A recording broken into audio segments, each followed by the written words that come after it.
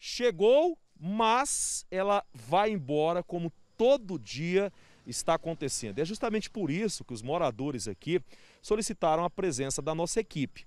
Nós chegamos aqui, recebemos a informação que a energia é, retornou para cá há poucos minutos. Mas está todo mundo no meio da rua porque o pessoal nem conseguiu voltar para casa. A gente vai mostrar, o Cleito está mostrando aí, ó, a movimentação dos moradores aqui que já não aguentam, já não suportam mais essa situação da energia, segundo eles, há cerca de 20 dias, vindo e voltando, e tem gente aqui já pegando prejuízo.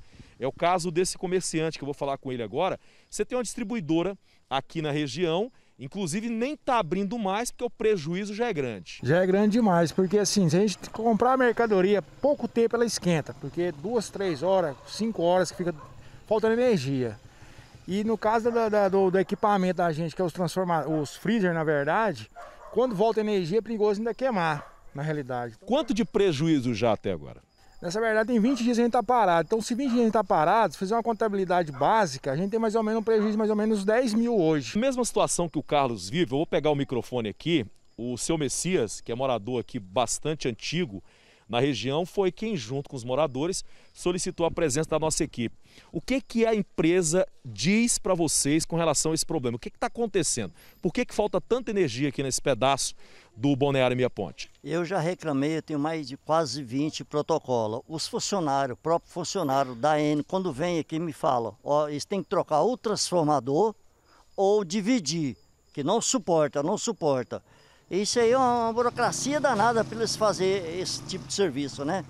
E como eu tenho a minha sogra, que é idosa, tem mal de Alzheimer, mais de 100 anos de idade, ela necessita de aparelhagem para respirar, aspirar ela, sem energia não tem jeito. O senhor está com um talão na mão, e aí esse talão, para você que está em casa assistindo, mostra às vezes, inúmeras vezes, o senhor já entrou em contato com a empresa para resolver esse problema. Só que é assim, por exemplo, agora tem energia, amanhã que hora a energia falta? Seis horas, seis e pouquinho, horário de pico, ela acaba. O horário é que tá todo mundo dias. em casa, cai energia. Cai energia. Eu liguei na ouvidoria, no primeiro nível, tem os protocolos aqui e tudo, mas eles falam que vai resolver no outro dia, tá do mesmo jeito. Eu vou falar com essa outra moradora aqui também, porque no caso de vocês lá, a geladeira não suportou, já era. É, isso aí, não suportou, tipo assim, tava caindo toda hora. Aí quando voltou, ficou, é, tipo assim, baixa a energia, entendeu? Então queimou. Aí ficou 500 reais para arrumar a geladeira.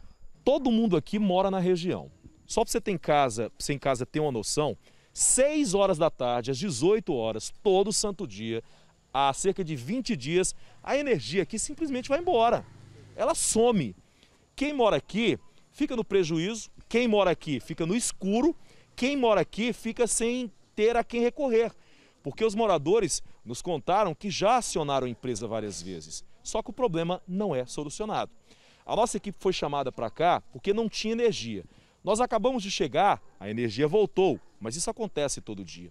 E para vocês aqui, de falar com essa outra moradora, não dá para ficar segurando uma situação dessa por muito tempo. Não, não dá. Eu trabalho com confeitaria, eu dependo exclusivamente da energia. E assim, o nosso trabalho fica totalmente parado durante horas. E é todo dia, todo dia vai atrasando ainda mais o nosso serviço. E a empresa diz o quê? A, Não, a, a mesma gente, coisa que fala para o A mesma coisa, eu ligo, aí solicito que é de emergência, eles, não, a equipe já está no local e é o horário que eles falarem. Todos os anos, nessa época, acontece isso. E eles têm que colocar um transformador. O ano passado eles vieram para colocar, trocaram alguns postes e acabou o material, eles foram embora nunca mais.